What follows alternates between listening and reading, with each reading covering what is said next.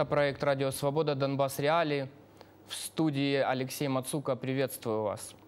Сегодняшнюю программу мы посвятим проблемам малого и среднего бизнеса, с которыми сталкиваются предприниматели в Донецкой области после начала вооруженного конфликта.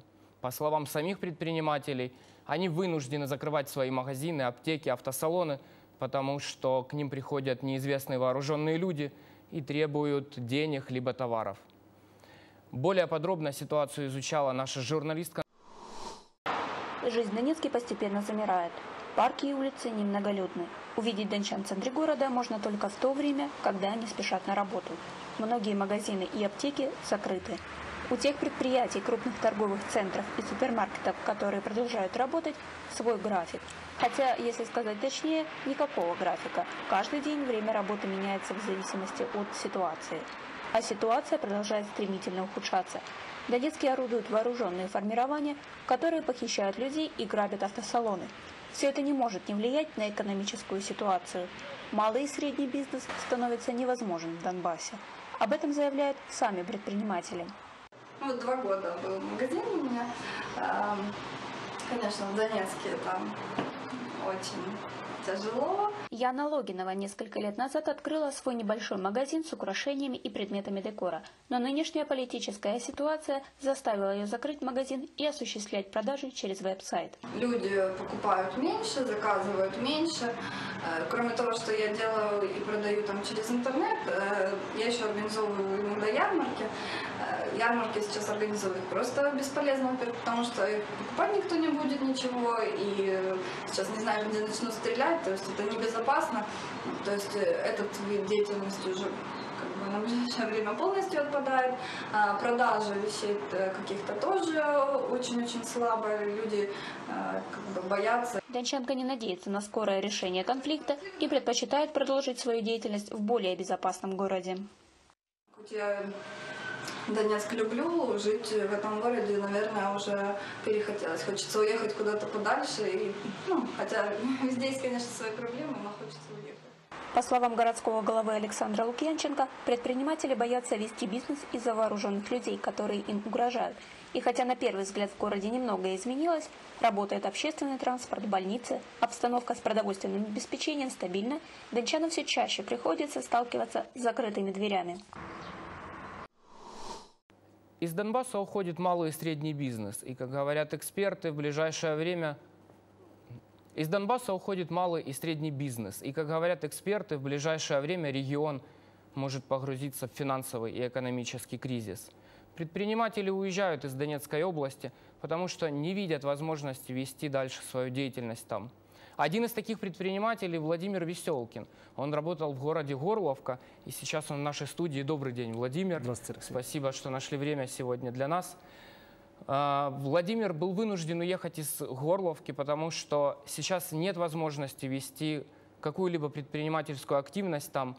И кроме того, он избран председателем поселкового совета, Зайцевского поселкового совета в Донецкой области.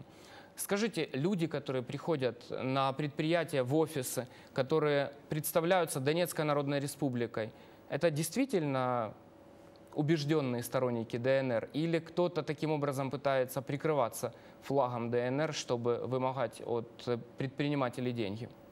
Ну, мое личное мнение, что люди, которые постучались на предприятие к моей супруге, когда я стал год назад поселковым головой, я передал все дела супруге и постучались, э, скажем так, в калитку, назовем ее так. Э, люди вооруженные и сказали, что теперь мы должны платить им э, за крышу в связи с тем, что то есть у меня, как у собственника или бывшего собственника, э, проукраинская позиция, все это знают, и теперь мы должны платить за то, чтобы иметь право здесь работать. Это был первое, ласточки. Это еще до захвата сторонниками ДНР э, здания УВД в городе Горловка. Это был первый позыв, после чего мы начали э, с семьей, с друзьями э, по ночам сторожить здание с улицы, чтобы его там не, не, не забросали коктейлями Молотова или что-то там еще не сделали.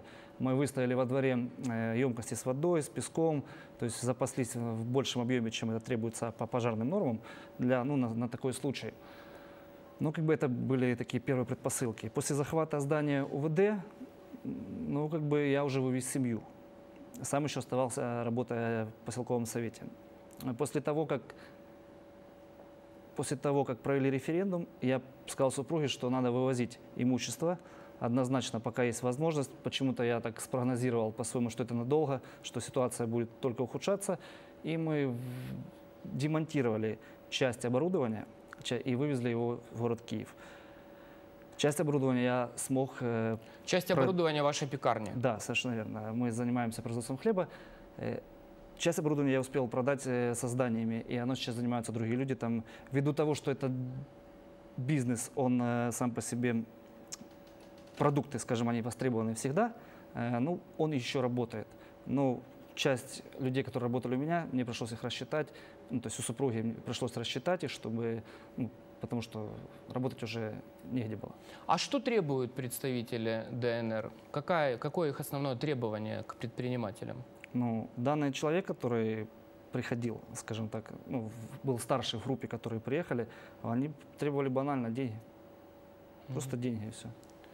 А, мы разговаривали с одним из представителей, представителей Донецкой Народной Республики, и он сказал, что да, действительно, ситуация в экономике ухудшается, и все хуже и хуже обстоят дела с малым и средним бизнесом в регионе. Однако он обвиняет в этом Евромайдан. Я знаю, что вы активный участник Евромайдана, и в ДНР считают, что с начала Евромайдана и начался экономический кризис. Вы согласны с этим утверждением?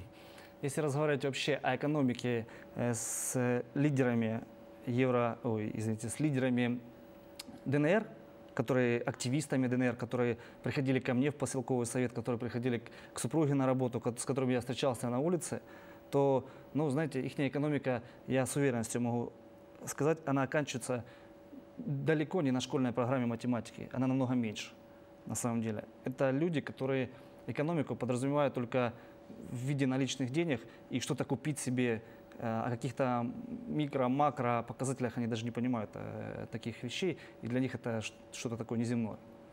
Одно из предложений, как выйти из сложной ситуации, в которой оказался малый и средний бизнес, сделал известный адвокат господин Головань. Есть его прямая речь.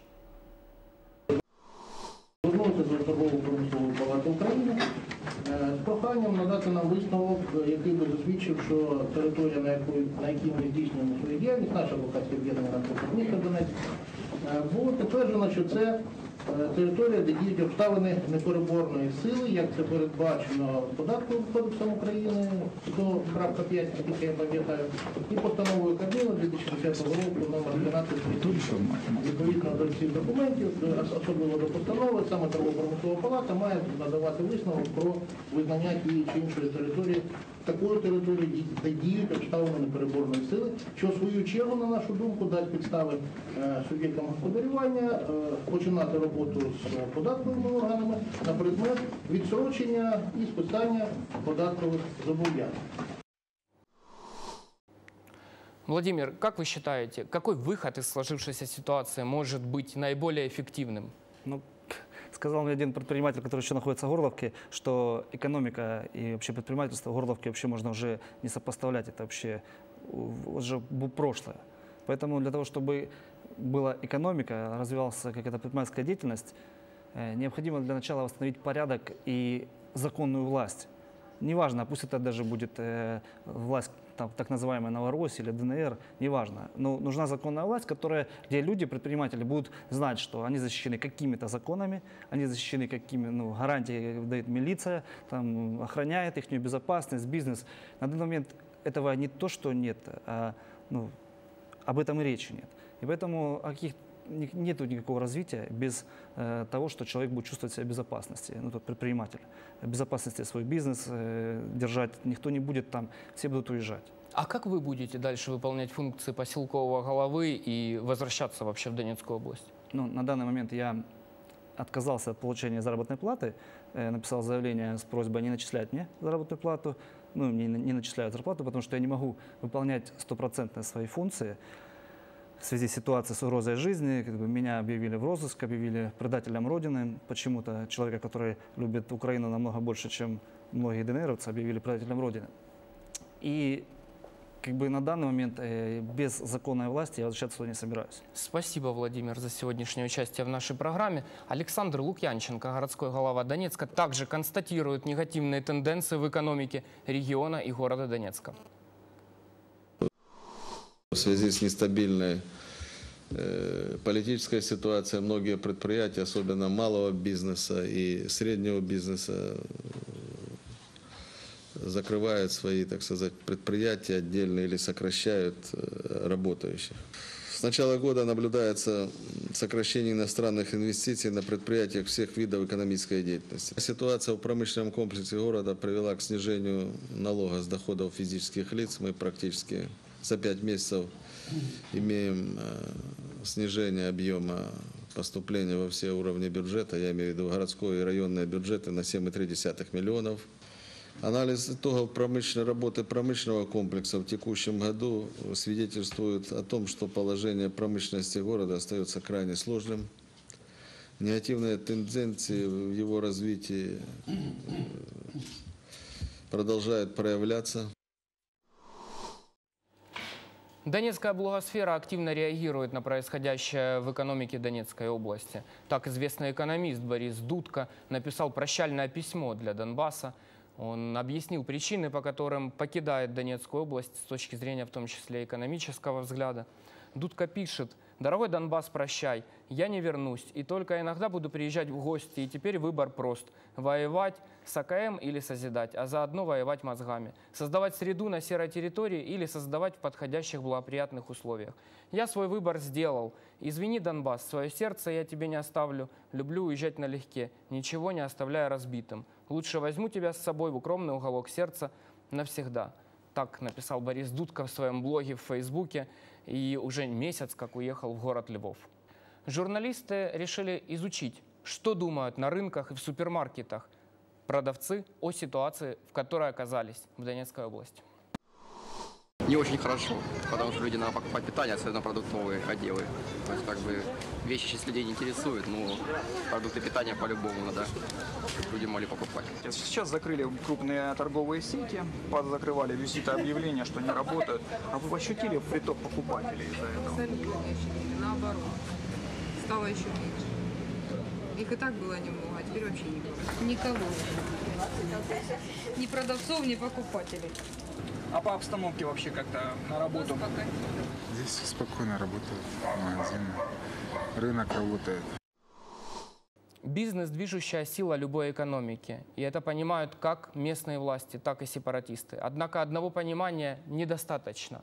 Нужно еще, чтобы вооруженные люди не приходили на предприятия к малому бизнесу и на крупные заводы, не требовали выкуп либо взятки. Ваши новости, фото и видео присылайте с тегом «Донбасс Реал». Также заходите на сайт радиосвобода.орг, где обновляются новости 24 часа в сутки.